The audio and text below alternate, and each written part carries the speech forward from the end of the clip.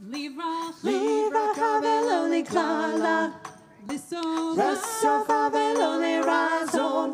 Libra, Libra, cabellone clala. Ah.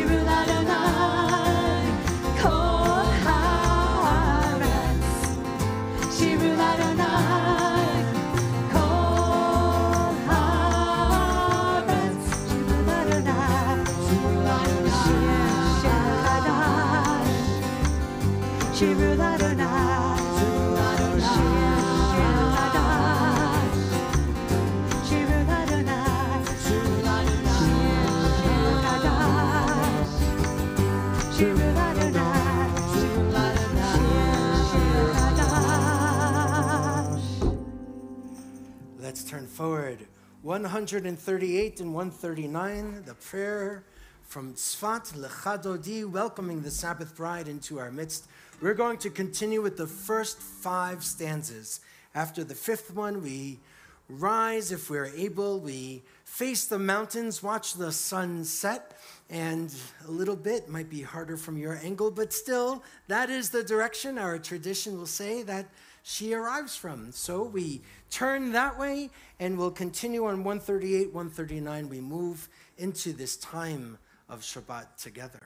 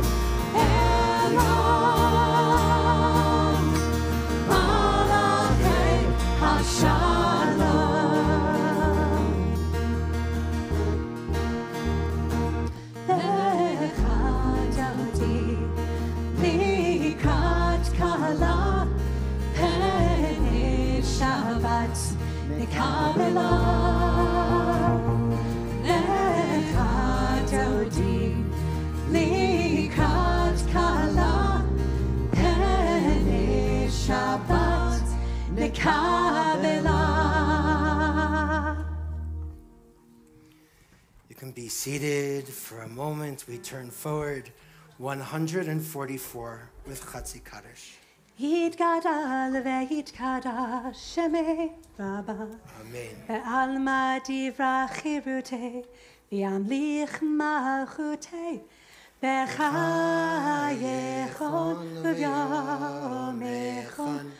וחייתך בית ישראל, בעגלה, בעגלה, ובזמן קריב, ואמרו אמן.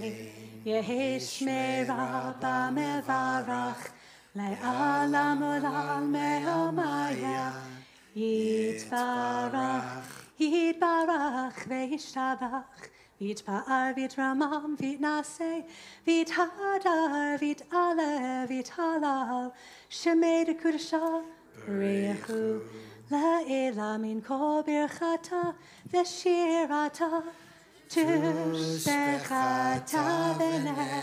v'nechemata, damiran bama, ve'imeru, amen. 146.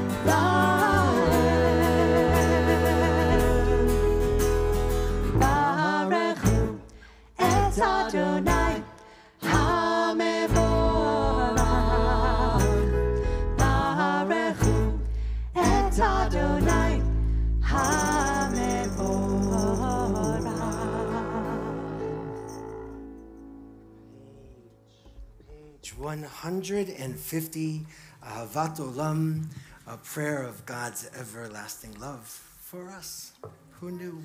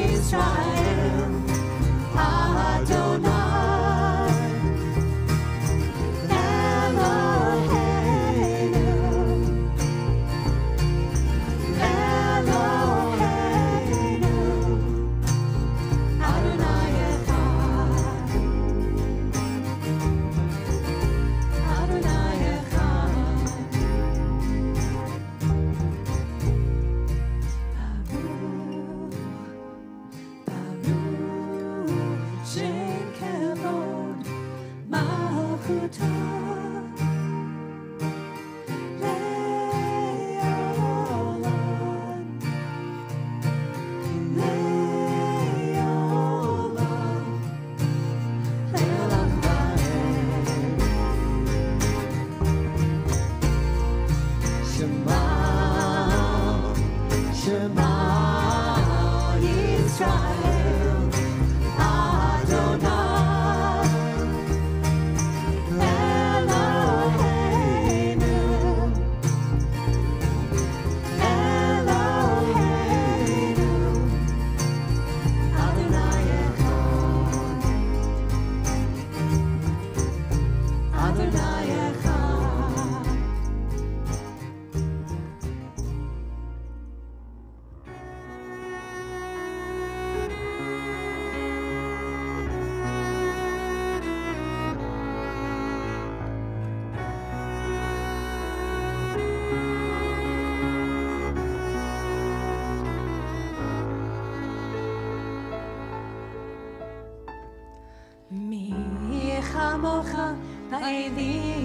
turn.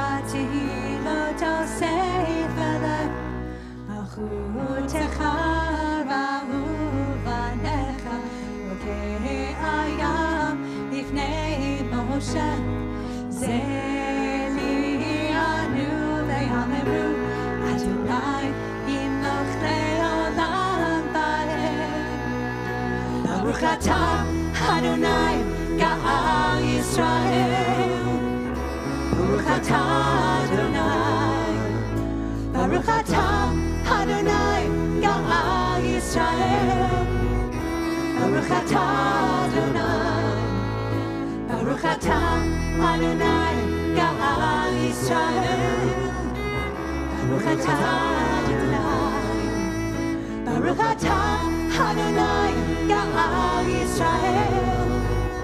Baruch atah Adonai, Baruch atah Adonai, Ga'al Yisrael. Baruch atah Adonai, Baruch atah Adonai, Ga'al Yisrael. Baruch atah Adonai.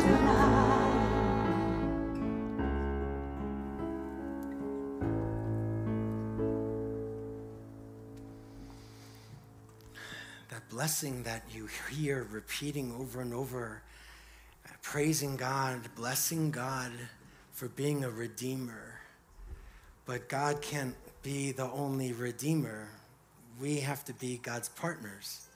We have to show up and help to create the world that is going to be potentially filled with all of that redemption. And we can do that. Not just us, but we can do that. We can play our part. Let's turn to page 160.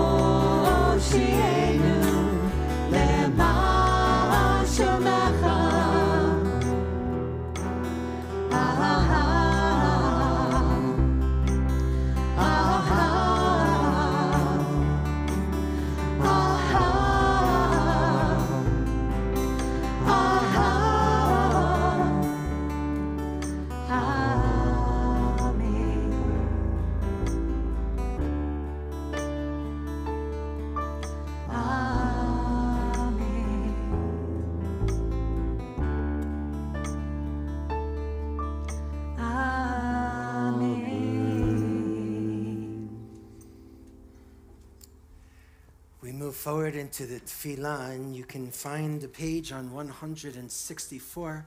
But before we continue, I want to remind you as it's hotter today than some of us are used to. Some of you are not from Boulder and are wearing jackets here. We want to make sure that you know that there's water there, that you take care of yourself, that you stay safe. It's a strong sun, even under this tent. If you need to put some water on your face, the restrooms are in the building, and there's water right there uh, on the side. So we want to make sure that everybody's taking good care of themselves, staying safe. Page 164, we move into the tefillah together. So we invite you to take a breath, and we invite you to rise if you are able.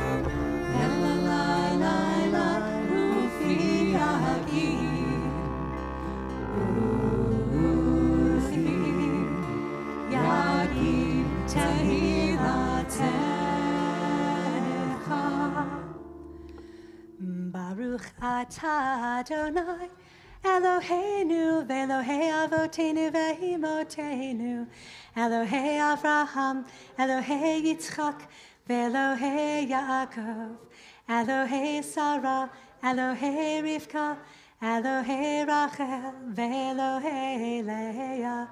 Ha'el Hagadol Hagibor v'Hanora El Elyon Gomel Chasadim Tovim Vekonei Hakol. Vezocher Chastei Ahavot U me vig u dha liv ne vnehem, me maan shemo bahava. Melech ozer u moshia u magen, baruch ata Adonai, magen Avraham sara Sarah. Ata gibor leolam Adonai, mechaye ha kol atarav lehoshia, מוריד הטל, מחכה חיים בחסד, מחיה הכל ברחמים רבים, סמך נופלים ורופא חולים, ומתיר אסירים. ומקיים אמונתו לשני עפר. מי כמוך בעל גבורות ומידו מלוך מלך ממית ומחיה ומצמיח ישוע ונאמן אתה להחיות הכל. ברוך אתה אדוני מחיי הכל. אתה קדוש ושמך קדוש, וקדושים בכל יום יהללוך Baruch atah Adonai ha'el hakadosh. You can return to your seats. Let's turn in the prayer book.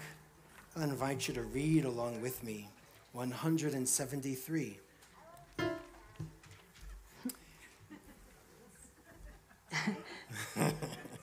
One hundred and seventy-three. May these hours of rest and renewal open our hearts to joy and our minds to truth.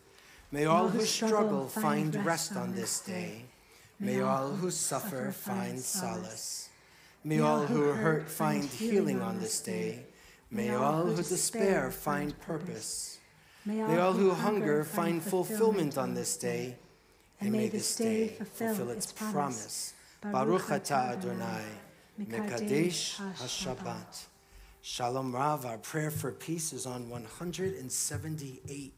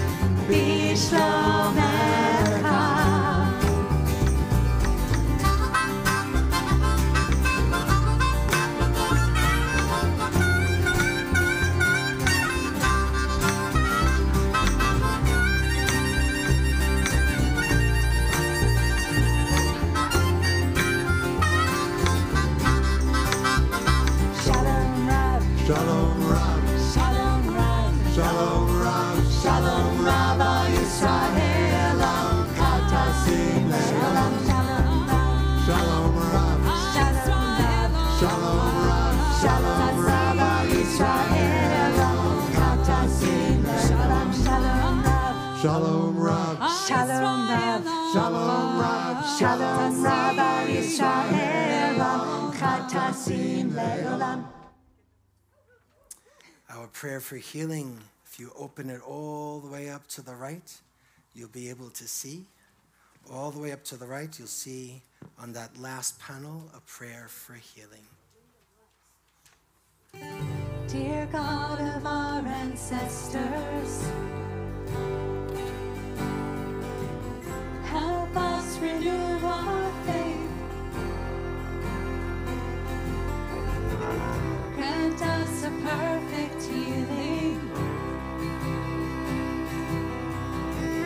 Bring peace to all our days.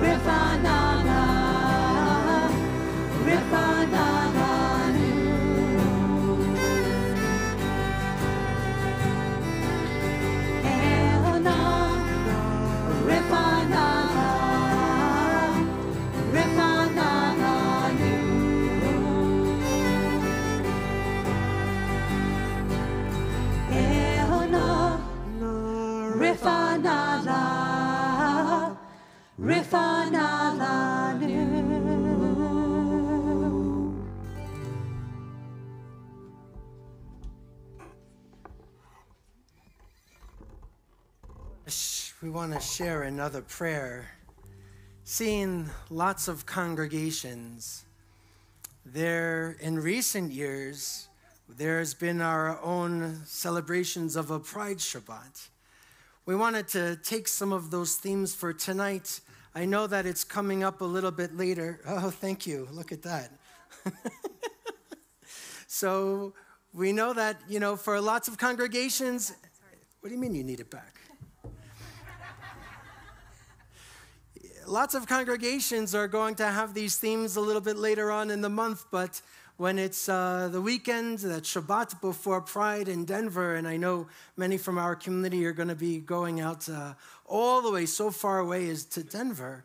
Um, uh, it's also going to be the last Shabbat that Holli's going to continue in our role, in this role uh, as, as our cantoral soloist in, in this piece. So we're going to be talking about perhaps, perhaps some other things, um, but we needed to still mark this month in our authentic voice, in our Jewish way.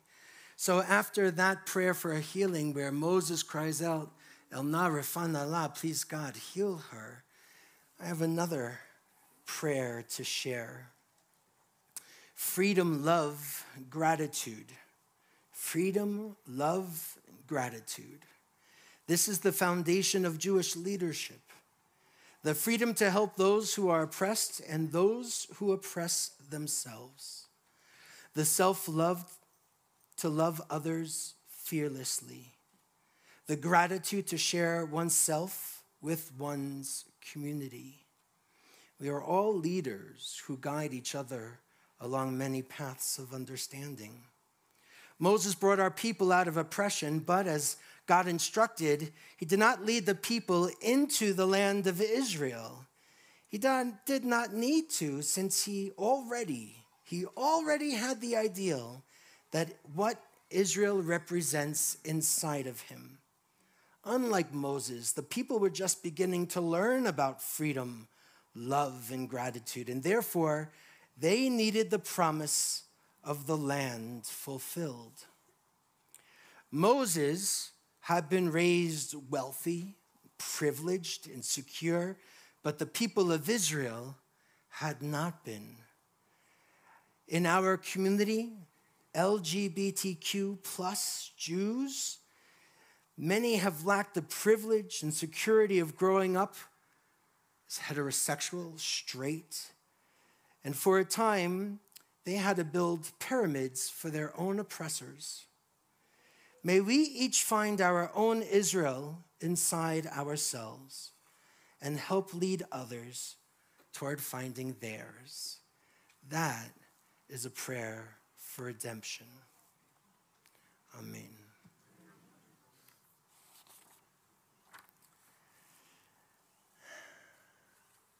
You know, there's sometimes a rabbi gets in front and will say, what, am, what do I get to say about this month? About what our experiences should be. As a kid, I remember feeling so strange about the idea that I was encouraged, really encouraged, to be suspicious or even hate people who were gay. That was a lot of growing up in the 70s and 80s, certainly before. The message was really very clear to me if you were gay, somehow you were going to be a threat.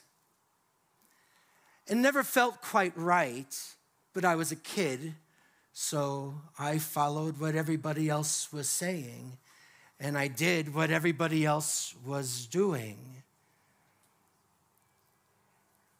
And over time, if you go along with the training, there's going to be a time, I hope that many of us are going to have new ideas, doubts about the training until we hope we're mature enough or courageous enough to challenge those dominant trends, and they were dominant. I can't imagine feeling what it might have been like to feel threatened that way all of the time. Now, I can think a little bit in terms of anti Semitism. Sure, I've encountered anti Semitism. There have been isolated incidents over the course of my life, particularly when I was younger, when there was a physical challenge or a verbal challenge, or I was witness to some sort of act of vandalism, or to see it in the midst of white supremacy that is in our wider country. But I haven't lived a life where my identity of being a Jew put me at any sort of risk or having an experience of being denied or not good enough or just being tolerated. I grew up where Jewish neighborhoods were still a thing, where the Jewish population was sizable. But the dominant identities, as other people see me, have granted me access to pretty much any space I would want with a lot of ease. And particularly in Jewish spaces with no challenges whatsoever. I am a straight, cisgender, white Ashkenazi Jew who lives a fairly able bodied life who is married, who has children. I identify as husband and father in many ways. I am a child of two Jewish parents born into the suburbs in a lower middle class household. And as a rabbi, some people listen to me and others not so much. But my Jewish spaces have been super easy to access. No one has threatened me or my family with our rights to be a family. No one has asked me curious questions to determine if I was kosher enough to be sitting next to somebody else in a congregation. Sometimes people ask if Holli's my wife. Yeah, that happens.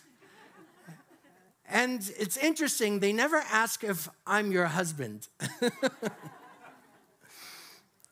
But the first thing to share during this Shabbat for me is not just a part of my story that probably is going to be similar to many, but not all of you.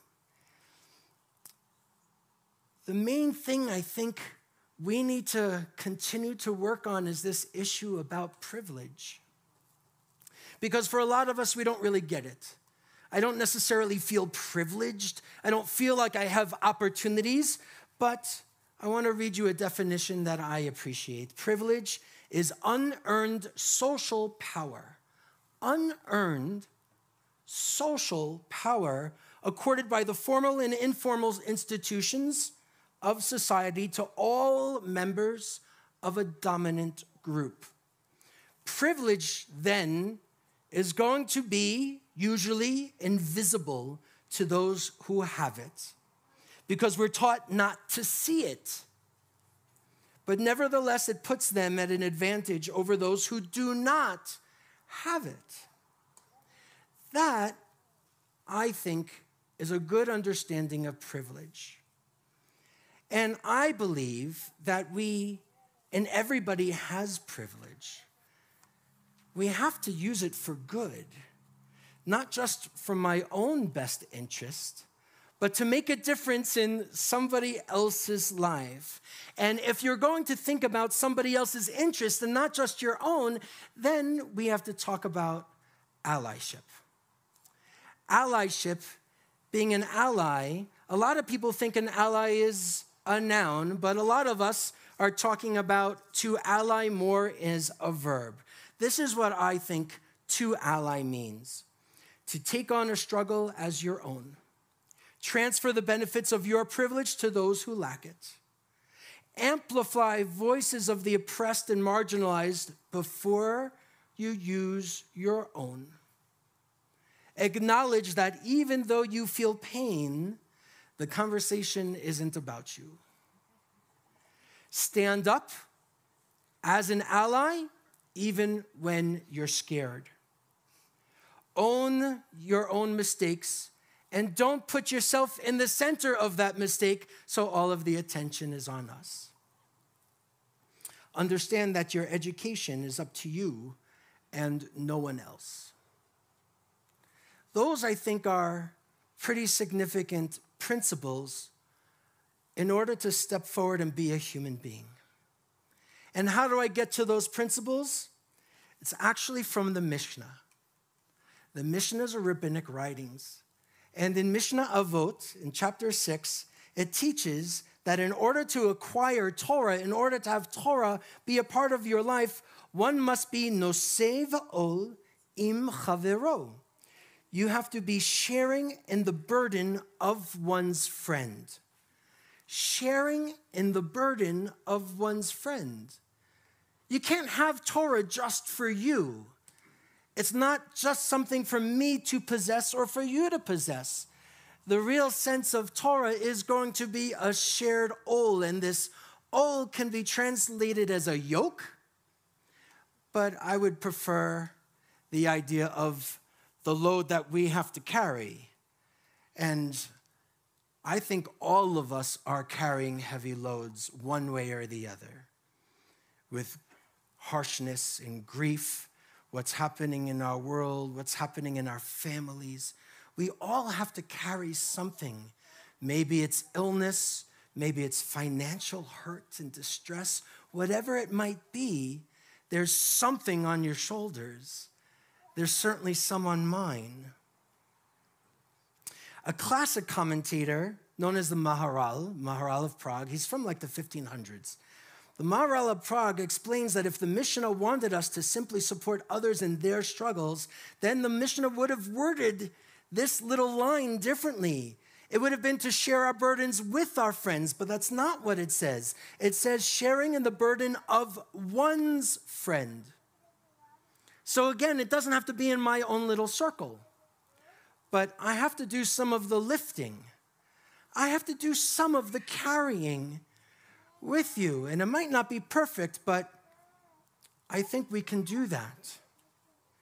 The Mishnah is asking us to personally take on a burden and relieve the one who's being pressed down the most. These rabbis are very into the sense of responsibility very into the idea that we have to watch out for one another. And certainly the idea that we can't wait for somebody else to do it. So I think we need to do a better job of coming together in any community that we are a part of and not just carry our own stuff the way we've been trained, the way we've been taught, that it's really just mine. But the burden becomes lighter when we really share the weight together. And I think that's super true. Rabbi Rick Jacobs, the head of the Reform movement, he gives us another way to ally. He reminds us that once Moses leaves Egypt for the safety and sanctuary of the desert, you remember that, I'm sure you do. You all saw the movies. Pick a movie, whatever one you want. We know that Moses kills a taskmaster, the Pharaoh finds out about it, and he has to run away. So he runs away into the desert and he sees shepherds driving off the seven daughters of the Midianite priest who are trying to water their father's flock. And instead of shying away because it was someone else's problem or because these women were of a different faith community, the Torah says in the book of Exodus that Moses rose to their defense. That's the text, rose to their defense. And in that moment, he didn't see the distinction between Jew and Midianites. He saw men harassing women and he stepped in. He allied. But sometimes it's not about stepping in or stepping forward, sometimes it's about stepping back and making room for others. The great Jewish mystic Isaac Luria taught that the world was created through an act of tzimtzum, of contracting, that God contracted God's own self to make a little space, a little void. And in that void, put all of the creative energy that God had into it. And then you have universes and tents and people and candles. God creates by contracting, by making God's own self smaller sometimes as a person or as a leader or as a rabbi or as a man, I need to engage in tzimtzum to make myself smaller and make room for others, even my congregants. You have to be partners in creating something. If I do it alone, it doesn't work. And in terms of being an ally, some of us are used to taking up the floor, and we need to kind of step back and yield, check ourselves, and make sure that other people have a chance to step forward. It requires sharing the weight. I am grateful that I live in a community where pride is so easy, where it's on the streets, painted on the streets in Pearl Street, where our friends and family and our kids and our parents get to be their authentic selves, children of God, created in God's image, and God doesn't create in vain. How could that even possibly be? So, for this Shabbat, thinking about where we might have been 40, 50, 60, 70 years ago, where we are now, I want to say thank God. And I want to say thank you, because a lot of you had a stake in some of those fights. I want to honor and lift up the memories of those who died that launched Pride back at that bar in New York City in Greenwich Village. I want to honor and think about those who have taken up a mantle in the Jewish community to say, yeah, we're part of this community too. And if we're created in God's image, without exception, then this tent has to be big enough for all.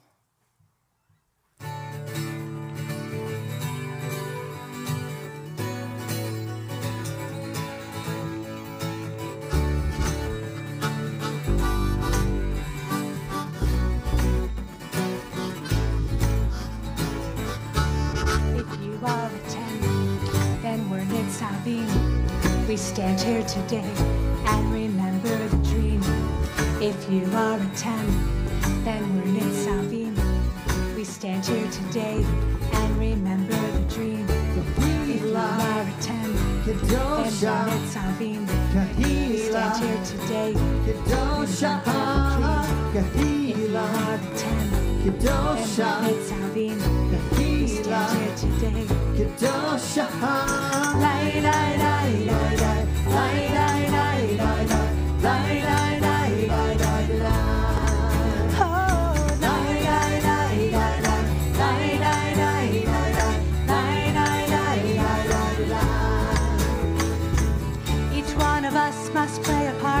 one of us must play a part Each one of us must heed the call. Each one of us must seek the truth. Each one of us is part of it all. Each one of us must remember the pain. Each one of us must find the joy. Each one of us, each one of us.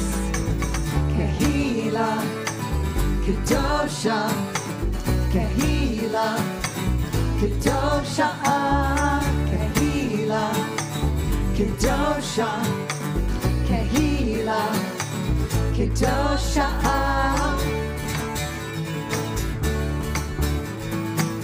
Each one of us must start to hear. Each one of us must sing the song. Each one of us must do the work. Each one of us must right the wrong. Each one of us must build the home. Each one of us must hold the home. Each one of us, each one of us.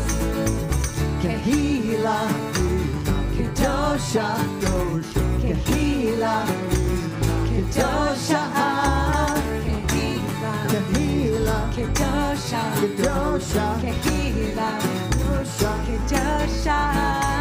So we are here together under this incredibly beautiful tent, a community that shows up in really difficult times, in times of celebration and joy.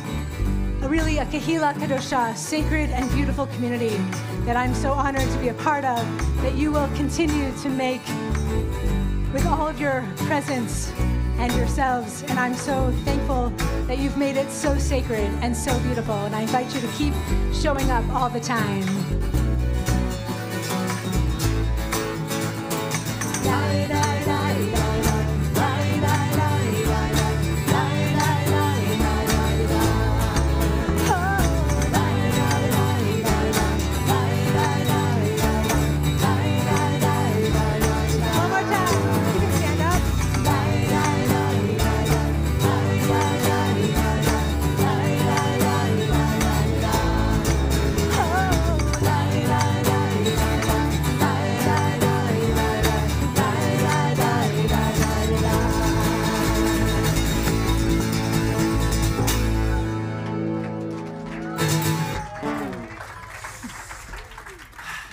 Friends, Shabbat Shalom.